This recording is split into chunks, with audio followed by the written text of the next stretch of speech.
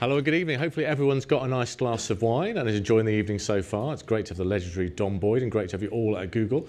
Um, what better to start the evening and talk about the really glamorous topic of insurance, which I know is something you wake up in the morning and think, I just love thinking about insurance. Well, my job is I have to do that. So what I'm going to do is tell you a bit about the journey I've been on two insurance brands. One that was slightly more challenging, well, so they've both been challenging in different ways, but one that uh, I think made strategy quite hard to implement, and the other that actually we found a way to see real breakthrough in what we've done. I've got some of the work to show you as well. So, this is me. So, I guess the question I ask myself as we go into this, when we look at strategy, is have we become a bit addicted to the short term? And I'll give you examples of how I battle with the short term versus the long term as a client. When you're working with an agency and you want to deliver a step change in your brand and a step change in what you're doing, how do you balance the immediate need for things now and the balance of something that you need in the long term? This is just a quote from EY. But I think the critical bit is if a brand becomes too focused on the short term, actually, it has a fundamental issue and damage on your longer term value creation. And I think for the people in this room, one of the real challenges is how do you work with a client that has to achieve that short term, but importantly is looking to the long term too, without sacrificing what goes in the middle. And I'll give you a very real example of that right now. So I worked 10 years ago on um, a great insurance brand called More Than. It's a brand I still love now. It's a brand we don't hear as much about. And we had a really good strategy. We were going to take on the insurance industry and do more. The brand's called More Than, so you can't do less than you inherently have to do more than other people. You know, you can't be the less than or the same as or just about okay as, it's more than. So the strategy was about we do more. We're going to do more. We built a really good strategy as a marketing team with the agency at the time, VCCP, great agency, love them to bits. Um, but the challenge was we were facing into a real sales challenge. We had really big targets we had to grow. So what happened? The wheels just started to come a bit off the wagon. We got this strategy. Yeah, we sort of believe in it, but you're not hitting the sales numbers. You were in January the, the 5th, now we're February the 5th, we're not quite on the numbers, so what we're going to do? So we end up in a world where well, the brand ads are right, but we want to put the DRTV ads into the brand airtime because they're going to sell stuff, all right? So this brand stuff's great, but I want to sell some stuff. We were on price comparison sites. Well, that's an easy way because Money Supermarket do the advertising. We put more money into aggregates as well. We did once, I'm happy to admit this, email the entire email database because the view was they've got a pulse and they need insurance. So let's email the entire database. They're alive. They want to buy something. Let's sell them stuff as well. And we emphasized a lot on short-term sales incentives, what the things we could give away to try and, and sell stuff as well.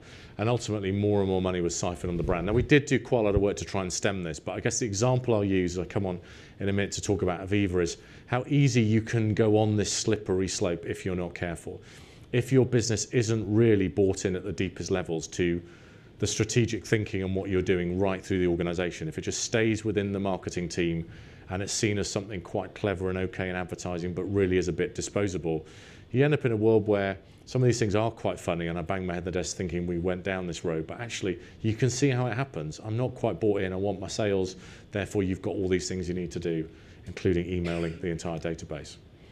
So just so I've covered, what, what really was sort of going on in that scenario? Well, there was a lack of buy-in across every bit of the organisation to the strategy. So as a marketing team, we'd gone, bloody love this.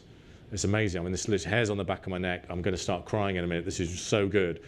But really had the business bought into it? Well, no. Right at the levels of the organisation, when push comes to shove, not everyone had bought into it as well. Selective amnesia did I really see that presentation? Did you really say it was going to do that? I'm not sure I remember that. So busy at the minute. And then leaders change.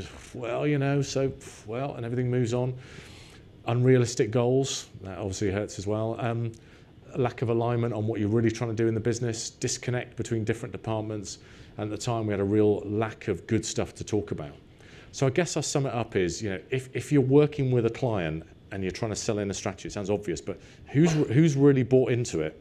Are they really invested in it? Are they really going to see it through? And have you really sold it into all the right people you need to? Or, bless you, tell you what, is that, is that the after is that the aftershave again, isn't it? It's always good. Um, I think just, just the watch out is make sure everybody's bought in. So I'm now going to take you on a bit of a slightly different journey of how we've worked with Adam and Eve on um, something different in another sector. Well, this, oh, sorry, I did put this slide in as well. But this, you've probably all seen this before, but this is a slide I love. I've worn it out many presentations, just arguing that if you do what we were ending up doing at Than, where you just invest in the short term, you're on a bit of a highway to hell. You get stuck in this cycle of short termism and you'll get, you won't do badly to start with, you'll get some growth coming through, but it's just not sustained. You get stuck in this cycle of doing the same stuff and you don't break away from the pack with your brand at all. You just get stuck and things get eroded. So thinking for the long term is great. It sounds easy, it's quite hard as well.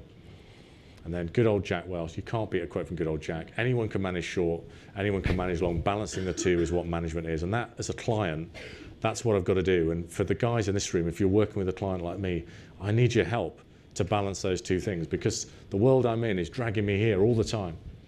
Even in Aviva at the minute, dragging me into the immediate need to hit some numbers and do some stuff. And I'm trying to desperately hold on with the agency to this, the long term. Where are we going? What's the health of the brand? What's the future of what we're trying to do? And how do we get there? Right, so let's go yellow. Let's talk Aviva. So good thinking. So this was Aviva in 2015. Um, and I'm not going to knock it. You know, I've been in the business now a year. You know, the business had Paul Whitehouse, I think it was eight years, and actually it was a really hard-working campaign. People still would remember it today. Paul Whitehouse, whether he was dancing or doing all sorts of wonderful stuff, you know, there's quite a lot of strong recognition. Your category leading attribution, we were growing. Um, and it was driven by sales promotions, you know, 12 weeks free, different offers. It was not a bad campaign. But the challenge was, and this is something we use the brand impact index, is the brand overall impact and health was in decline. We weren't actually really standing out from the crowd enough in a market where consumer trust and consumer view of the category was going down, which is quite a big challenge. So what did we do? We um, did a pitch. And interestingly, sometimes it takes a pitch as a catalyst for change in a business. And through that pitch, we appointed Adam and Eve. And actually, good thinking came out of that work. Because actually, how do we move away from this, not a bad vehicle, but something that was quite promotionally led, um, wasn't helping us grow in the longer term against the category? We needed some fresh thinking, we needed some good thinking. I'll let you read that for yourselves. I've never been a fan of reading from the slides. But in essence, um, this is just a category statement about the fact that the industry isn't really looking out for its customers enough and actually building relationships in the long term. It's too focused on sales incentives, but actually at the heart of what Aviva does is good thinking in the interest of our customers in what we provide, is what we do, and the innovations that we come up with. And how we wanted to bring that to life was in the real world. So not with a character, not with a gimmick, but actually in real world situations of Aviva practically getting alongside you and going, you know what, this is what good thinking is, this is how we help you, this is the difference we can make in your lives. And it's not just an ad campaign. That's the other important bit. When this was sold into the organization, it wasn't sold in as a strap line. Yeah, great, we're going to have good thinking on the end of our ads, and people nodding along going, oh, that sounds really good. And this was sold in as a philosophy and a mindset for the business. So clearly what we couldn't do is just say, yeah, we do good thinking now. Actually, we had to back it up with proof point after proof point after proof point. That's what we've worked really hard to do. And at the heart of it is actually not just tackling, I guess, ills that customers would have about our product category, but actually bigger, deeper things that are societal issues that we had relevance to tackle. Yeah, clearly things that we could own. Well, actually, what about driving safer on the roads? People dying because they are using a mobile phone behind the wheel. Uh, helping people that, I was going to, I'm going to do one of Dom's polls here. How many people in this room are saving into a pension? I love you guys. All right, that's good. That isn't representative of the UK. A lot of people just aren't saving for tomorrow and aren't even thinking about tomorrow saving a pension. So shouldn't our duty as a provider of pensions be to wake the nation up and say, maybe you should start thinking about your future and maybe we could help with that. So that's at the heart of the missions and what we're doing. And edgy executions, which you'll see in a minute. We've got to stand out. I describe it as water cooler moments. You know, I want people to go in to work, think, feel, and breathe insurance and think about it. And actually, did you see that thing last night? It doesn't tend to happen in financial services, but it's happening with the work we're doing. So we did a drive challenge. That's how the campaign launched in January last year. We set a couple of families against each other. We have this thing called the Drive app. It scores you. So if you're ever bored at the weekend, you want to find out, am I a good driver? And you want to compare whether you're a better driver than your partner or your friend. The Drive app does that. You can see how you drive, how you brake, how you take corners. It gives you a score. That score then gives you a discount off your insurance. But it's just really helpful. It's our version of good thinking. So yes, it does help you save money if you want to dial back to the basics, but it helps you drive better and it does mean And we know this statistically, people are driving safer and the roads are safer and there's less road deaths. So it has a greater benefit with good thinking. Now, alongside doing that challenge, which worked really well, and we've seen great results from, we've done quite a lot around social and content to try and bring this whole topic to life around making Britain's roads safer. So I'm going to show you something that we put out just on our social channels. It's performed really well, but pretty quite unexpected and quite different from Aviva. So you'll tonally start to see where we started to go. Oh, Why? I have kids. If you're texting on the phone and you run over my child, I'll jump in that car and batter the out of you. This is a good idea, isn't it? I want to make it legal for people to use their mobile phones while they're driving. No, I don't agree with that. Not just phone calls, text messages. If you close your eyes, you can't see anything, and that is dangerous to drive like that. If you do that, mm-hmm. what can you see? Everything, right? You can see everything. So use that eye for the phone. You're not going to text while you're driving, are you? Well, they say if you do it at night, then the light from the phone shines on your face and makes you more visible. What's more distracting? Having your phone in your hand or having it on the passenger seat and it's ringing and you don't know who's calling? This is a good idea. That's a good, no, it's a good idea. I promise that's a good idea. I've just told you I don't agree with you. So No, why you- would you expect me to sign? If you can walk while you're texting, why can't you drive while you're texting? No, it's too dangerous. No. No. No. No. No. Do you use social media? Seriously, why would you be promoting this? Hi guys, can I stop you for just one second? I think the scooter drivers should be allowed to text as well. Make driving on the mobile phone legal! Honk honk! Come on guys. Huh? Honk honk! Let's change the world.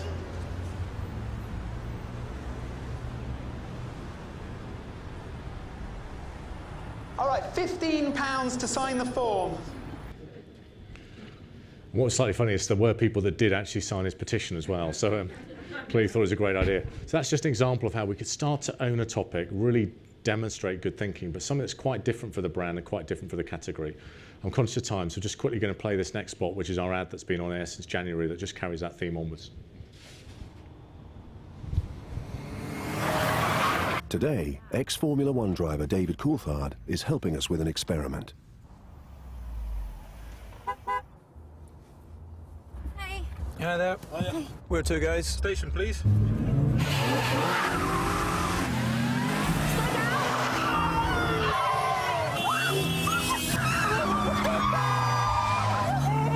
Is it left or right on the roundabout?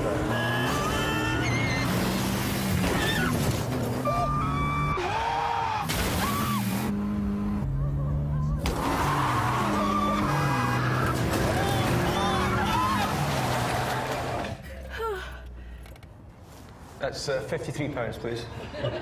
Paying for other people's bad driving. There's no excuse for that. Hope you enjoyed the ride. At Aviva, safer drivers could save an average of £170 on our car insurance. Download the Aviva Drive app to see if you could save.